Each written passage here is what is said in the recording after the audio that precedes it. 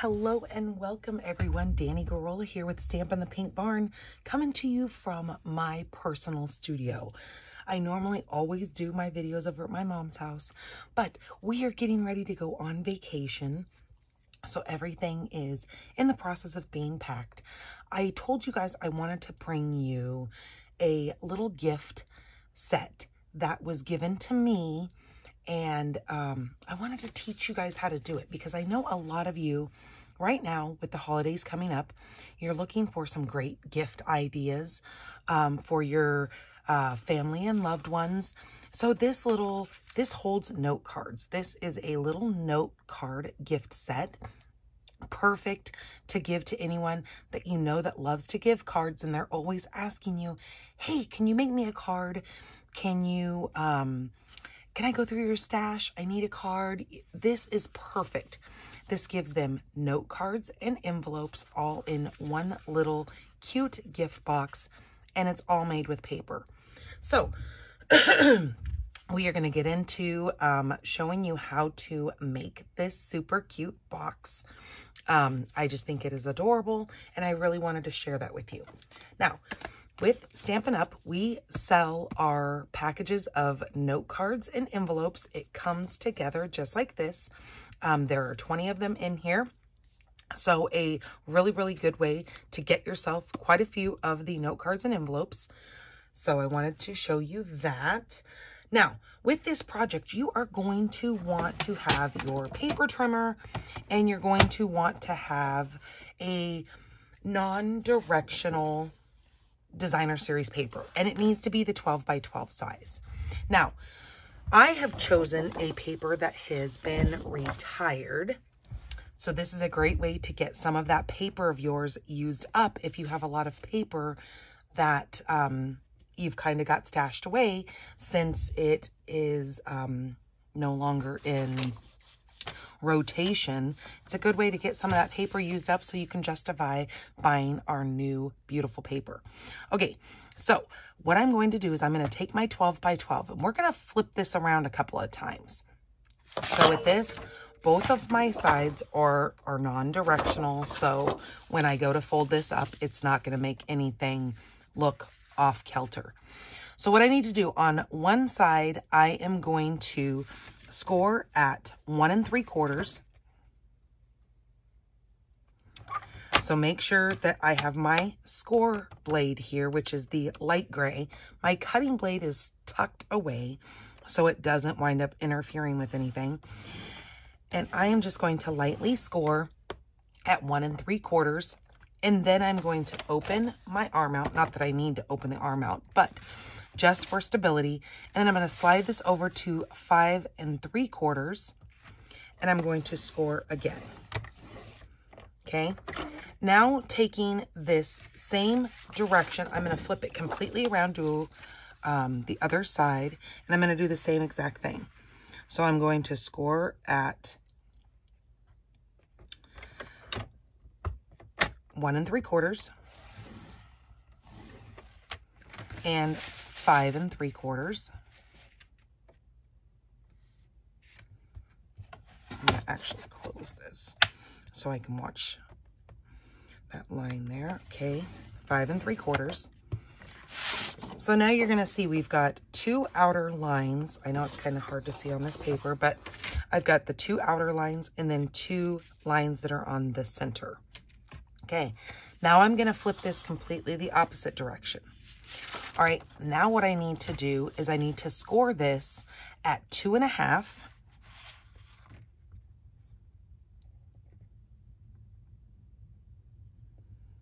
Line that up at two and a half. And eight and three quarters. Or eight and one quarter, sorry. So line that up with the eight and a quarter. Again, score. So now what is it going to look like is you are going to have two, you're going to have one line coming down here and one line coming down here. So you have two lines going um, this way on this. One is going to be a little bit smaller than the other one, just to let you know.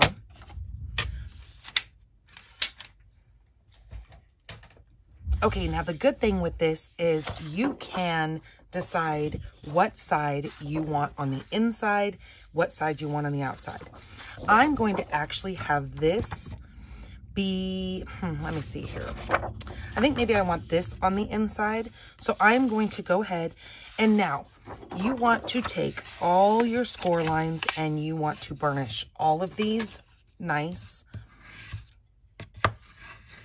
and crisp.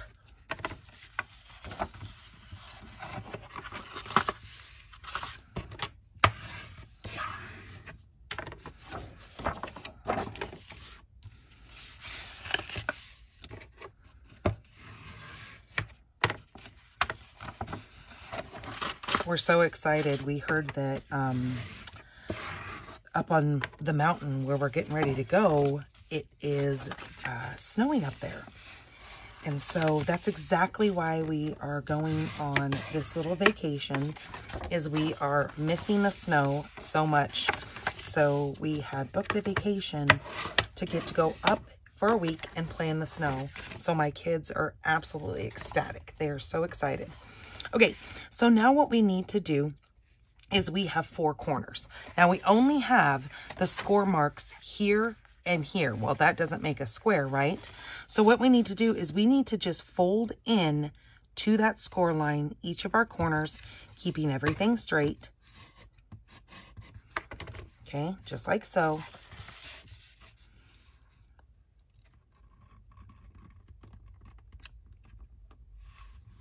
because this is going to be part of our tucking mechanism to hold this whole thing together. And as you can see, I have not placed glue anywhere on this little pocket. And we're not going to. So it's really fun. It's pretty much an origami. All right, so we're going to do that like that. And then we're going to flip this over. Now we're going to take our two portions. Our, our four lines are now going to be going um, vertical. Those are going to be in the inside. So now that we've flipped this over, we're going to pull in the bigger flap and now pull in the little flap. Okay, so now those are facing each other. Now, oops, I folded these the wrong way. I was supposed to flip that back over. No, I'm not.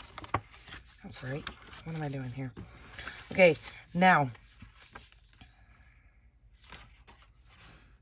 I've done something wrong. What did I do?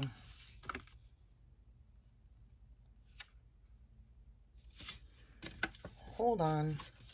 Oh, that's why. okay, so having this open, we are going to pull these two sides in on themselves then we're going to do the folding. See, I messed up stuff. Getting a little, getting a little eager there. Now you're going to flip it backwards, flip it backwards, and this is where these are going to tuck in to your little sides, just like that. So now those have tucked. So make sure you flip that back around. Let me show you one more time. So we are going to fold the two ends into themselves with our little flaps.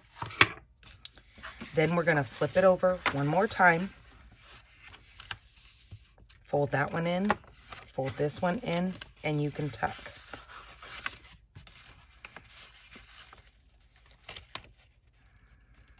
Just like so.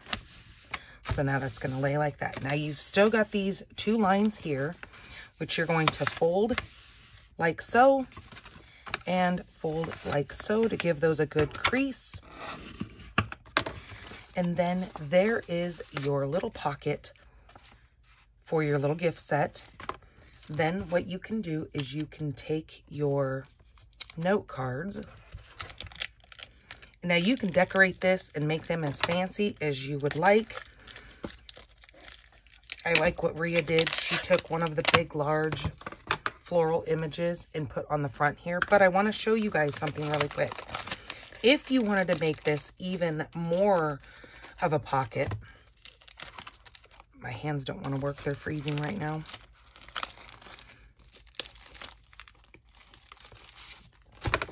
You can take your little note card And you can actually add a decorative card to the front because you've got a pocket here. You have a pocket on the inside. You have a pocket on this side. And you have a pocket on the back side. And I just noticed I still screwed this up.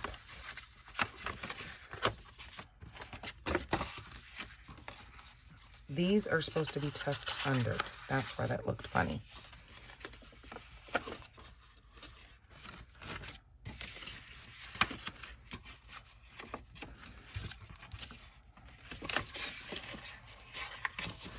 So when you tuck those under, then fold these up. There we go. That's better. Jeez Louise. So those are tucked inside. There you go. You can either have those flaps flipped out. They'll do the same thing. And then, like I said, your little note cards go in there. Your envelope can go in there.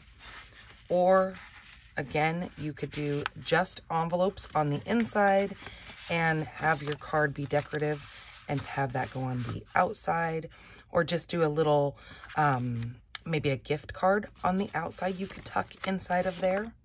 Either way, this makes a great little gift for your recipient with cards and envelopes. So now they've got cards that they can mail directly out to their friends and family when needed. I hope I didn't confuse you too much with this because of the flaps since I was a little bit backwards this morning. you guys will figure it out. You'll see how it all folds as long as you get those main corners folded in. And this is where I was saying that if you want to flip this around, now you have this out. Take this, flip these in. I'm going to confuse you even more. Pull these in to themselves, just like so. This is if you want the other pattern sticking out. That's the kind of the neat thing about this is you can decide um, which side of this you want as your inside. So now I've completely flipped that where now the black is the more um, visible part and my fresh freesia is on the inside. So yeah, you can flip these around, you can play with them, you can decide what side you would rather have showing just by flipping these and flipping that back the opposite way. So I hope you guys have fun with these. I hope you make many of them. If you do, please share them over on Pink Barn Stampers group. I would love to see what you come up with and see you get yours decorated. All right, you guys, have a wonderful, wonderful week. I know we will have a blast in the snow. You're going to see many, many pictures to come. Let me show you one more that I've made over here. This is using a retired paper as well. I created this little one here, just like that, with the different colors, but kind of fun and bright. And then again, here is the one that Rhea made. So super fun and cute. They're really easy. I know I probably made it look a little bit more complicated than it needed to be, but you'll figure it out. It's not hard. There's not that many folds so, all right, you guys, take care. Thank you so much. Bye-bye.